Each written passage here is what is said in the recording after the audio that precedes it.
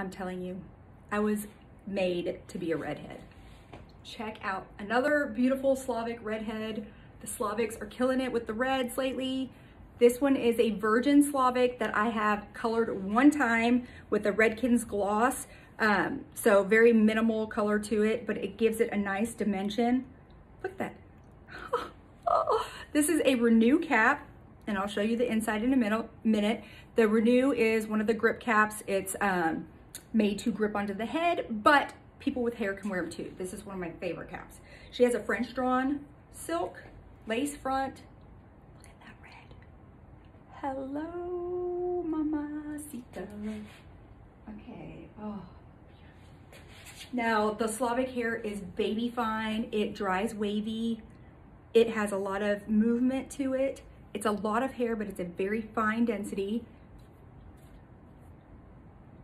Top quality, can't get better hair. It is seriously, if you haven't tried a Slavic piece, you gotta try one for like the first time and just see what it feels like because it's just totally different than you've ever felt before. So, it does have some natural grays in there. You'll see it here in a minute. Not too many. The shades took care of most of it, but this is, look at that color.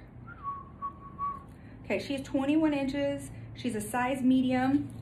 This is the Renew cap. It has the silicone inside, so it's a gripper cap. Silicone lined, French drawn silk, lace front. This one has lace ear tabs, so they are not the bendable ear tabs. So if that bothers you, that's something to consider. Um, bleach knots, she is lightweight. She is a medium density. Just look at that hair. I mean, you can just tell that virgin, silky, yet slightly frizzy, cuticle intact Slavic hair. Premium, premium, premium. This color is gorgeous.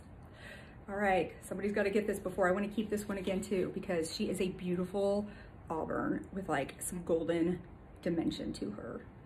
Oh.